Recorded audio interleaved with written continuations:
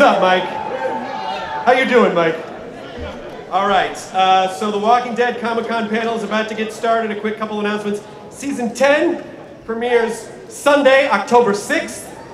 Um, executive producer and director Greg Nicotero directs the season 10 premiere episode, which is written by Angela Kang. The Walking Dead premiere will be directly followed by an all-new live Talking Dead, uh, which is good for me. Uh, there will be a special Talking Dead, The Walking Dead season 10 preview special, Sunday, August 11th. We're going to have more exclusives for season 10 of The Walking Dead for you then, so make sure to tune in. And also, 10 weeks of reveals. Y'all, uh, every week we're going to be revealing new info across the Walking Dead social platforms, photos, videos, never before seen content. Uh, this will kick off Thursday next week, July 25th. So keep an eye out on the Walking Dead Instagram, Facebook, and Twitter profiles. More details to come.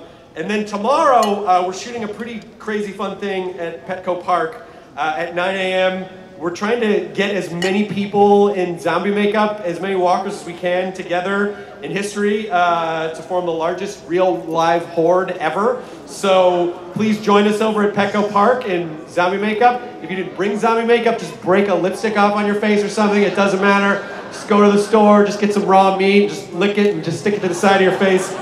You'll be fine, do whatever, chew up some dog treats, throw them up on your shirt. I don't care. Just, we want to get as many people there as possible. That's 9 a.m. Go to amc.com slash horde, H-O-R-D-E, uh, for more details. And for right now, there is a lot to go through and some very big announcements. So let's bring everyone out for the first part. Please welcome to the stage the executive producers of The Walking Dead, Angela Kang, Scott M. Gimple, Robert Kirkman, David Alpert, Gale Anne Hurd, and Greg Nicotero.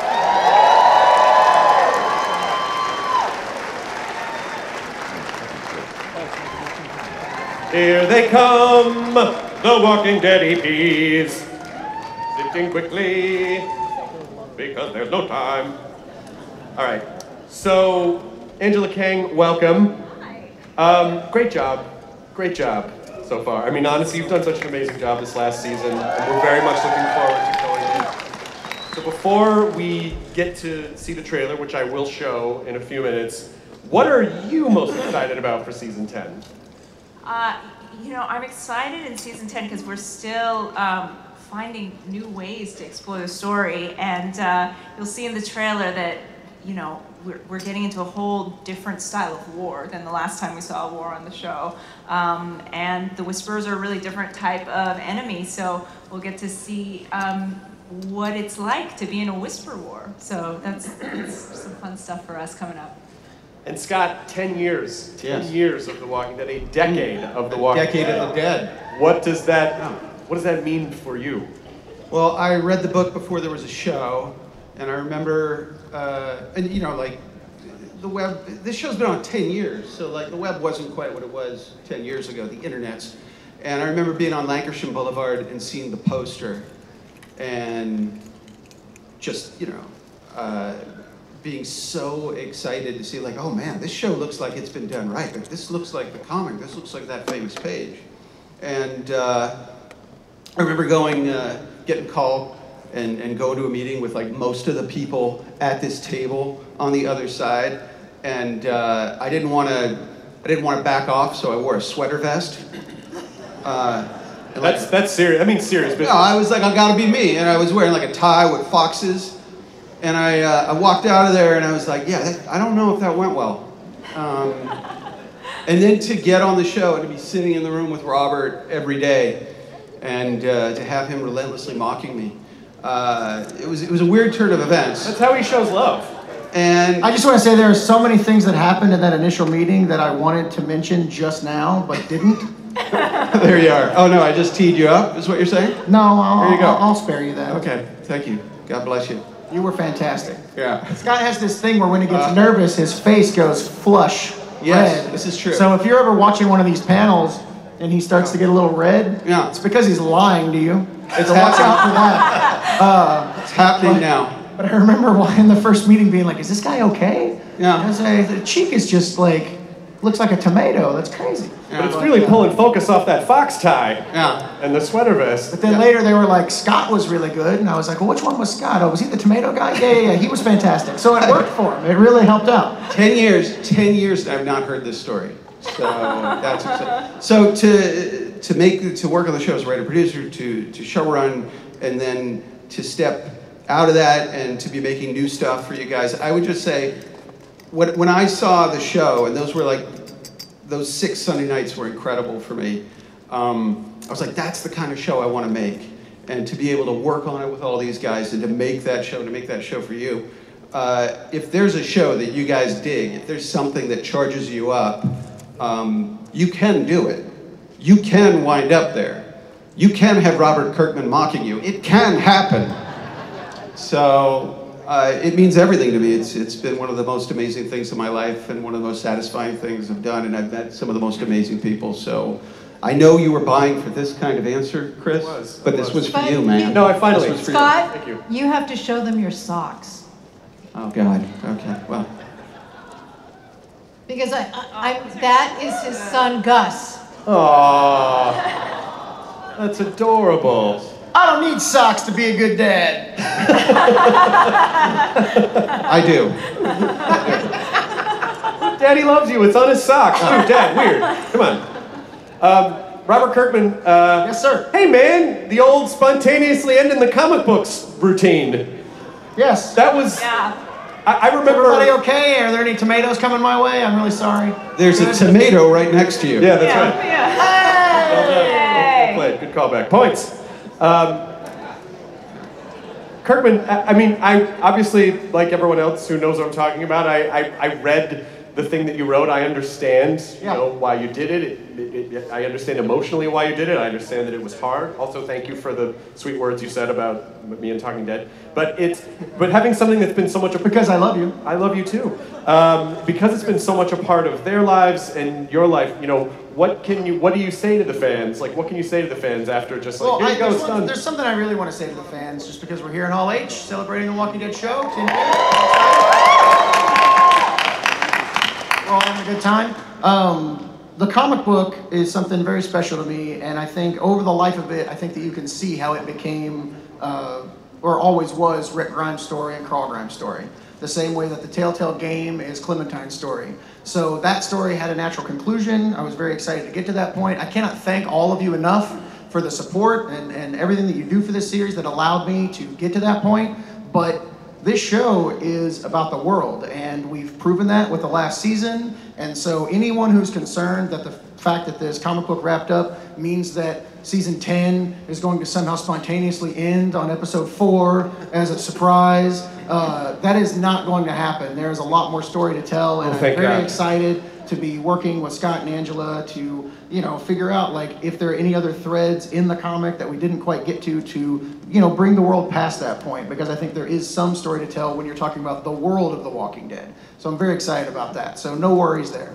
oh, thank God. I, I mean, obviously, I have very vested worries about that type of thing. I read that, and I was like, oh no, Chris please. will be on Talking Dead, Yeah. well into his 70s, hawking bobbleheads That'd be weird if and they. apps. That'd be weird if it's like fantastic. Walking Dead ends. Weirdly, Talking Dead picked up for five more seasons. Like that's never going to be a headline. So. Right. It'll be great. Uh, Gale, can we talk about new major characters joining the cast this season, I'd be happy to. please? So I'm really excited to announce a couple of fantastic additions to the cast. Thora Birch, whom Oh, you may all know from Ghost World and American Beauty, Clear and Present Danger, and Hocus Pocus. Uh, she is going to be playing Gamma, a whisperer who is fiercely protective of Alpha, a committed believer in the Whisper way of life. In addition, playing the role of Virgil will be Kevin Carroll from The Leftovers and Snowfall. Uh, he's really intelligent, very resourceful, and when he encounters some of our group, um, he's going to be desperately trying to get back to his home and family. Great. So Thank you very much. we look forward to sharing their stories and these fine actors with you. And just sort of talking about new characters, Dave Alpert, is there a storyline from the comics that you would like to see brought to life on the show at some point? I'm still just trying to get over the fact that that's actually not Scott's son on his socks, and I'm trying to figure out whose son it is. Strange. Um, So are you are you saying that Scott Gimple abducted a child and photographed him only for the purpose of having original socks with a baby's face on them? It's a little strange. Man, this is some late breaking news here at Hollywood. let me tell you. This is a dark path. Go ahead. Uh, I'm, I'm, I'm seriously uncomfortable now. We'll talk about this. Okay. We're gonna get a close up on this cheek. Just for the people in the back who can't hear, a lady in the front row went, So are we! Okay, cool. You know, I'm uh, I'm, still uh, sort of getting over issue 193 in the comic, and um, you know, but I actually feel like when we got to 192 and sort of we saw there actually there's a moment in 191 where it's like it looks like there's about to be another all-out war between everybody's about to break out, and I was like I was like oh my god I can't believe Robert's about to do this, uh, and then it, then, every, then everyone goes stop! And it just stops. And I felt like that was actually a really interesting moment where the book had sort of changed, and like everybody's like, "Oh no, we've actually moved past this storytelling bit."